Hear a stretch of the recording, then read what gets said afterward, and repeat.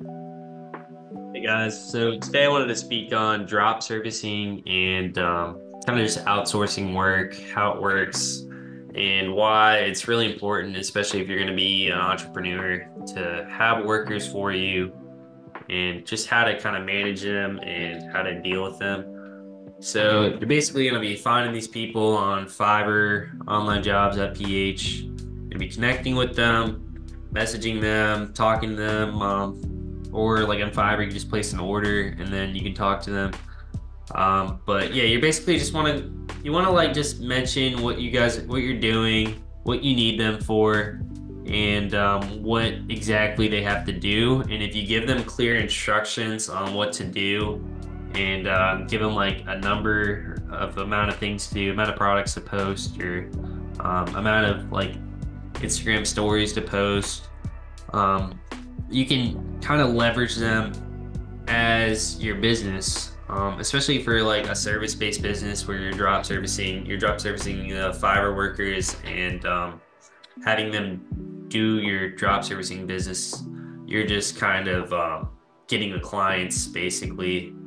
Your job as an entrepreneur is to get the sales, get the clients, and um, you want to be kind of outsourcing anything you can to save you time. Because if you don't, then you're going to be kind of overloaded with stuff to do as a business owner. So you definitely want to be outsourcing um, the repetitive tasks that you don't need to be doing yourself. For example, you can outsource your products, posting them. You can outsource your um, social media accounts, have people run them for you. Um, you can outsource, you hire people to run the Instagrams or the Facebook or whatever. And um, you have a social media marketing agency out of it. And um, you can do this for pretty much anything, right? Anything that they have on Fiverr as a service, you can um, drop service and sell it yourself with a different brand, different spin on it, sell it for a lot more, and then you're to be outsourcing the work to your Fiverr workers or your um, your online jobs at PH guy or I don't know. You're, you're basically gonna talking to these people on like Messenger and WhatsApp and um, kind of telling them what to do, and you're running. You're you're kind of managing them virtually, so you're not gonna necessarily um, be there to like guide him and like watch every step he's doing and like kind of just be over his shoulder like a boss would and like a company.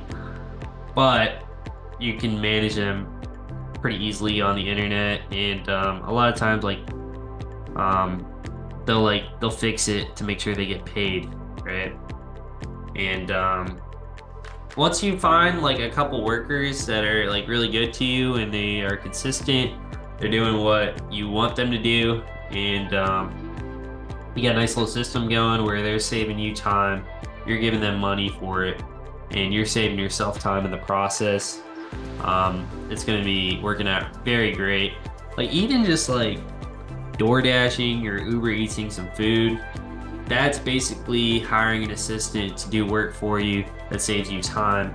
And that's a good way to save some time as well just like using DoorDash get, get a Dash Pass subscription save time like on going to the store and getting the food. Um, but yeah, guys, I mean, it's not too complicated. Just kind of tell them what to do. It's it's hard to get started and like find find the right guy, but once you do, that can be your go-to guy for any sort of work you want outsourced, and you can just tell them what you want done. Show them a little video on how to do it if they need it.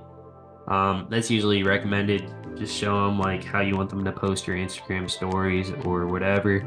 But you can really um, use other people's skills and leverage them to where you're making money from them. And um, the way you do that is just sell sell the skills, sell it as a package, sell it as um, something people would pay a lot of money for, and um, upcharge it.